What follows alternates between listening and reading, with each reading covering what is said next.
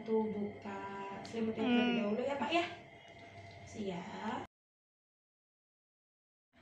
Baik Pak, saya akan melakukan pemeriksaan abdomen terlebih dahulu ya Pak ya. Saya akan tekan jika ada nyeri bilang ya. Ada nyeri Pak? Ada nyeri? Ada nyeri Pak? Baik, nyeri. Saya raba perut bagian bawah Bapak ini kandung kemihnya penuh ya Pak ya. Ini mendefinisikan bahwa benar adanya sumbatan pada kateter atau selang kateter Bapak. Untuk itu saya akan memperbaikinya ya. Saya akan pasang perlap terlebih dahulu ya Pak.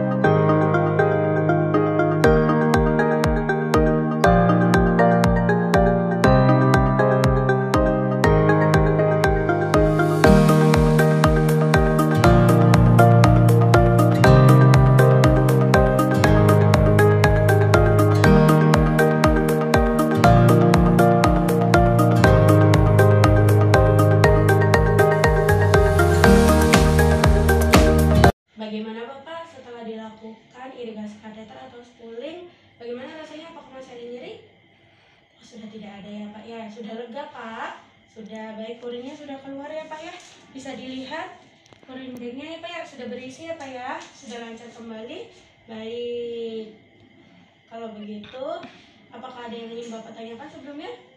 Tidak ada. Baik, kalau tidak ada, saya permisi untuk mendokumentasikan tindakan yang telah kita lakukan ya Pak ya. Baik, permisi, cepat sembuh Pak.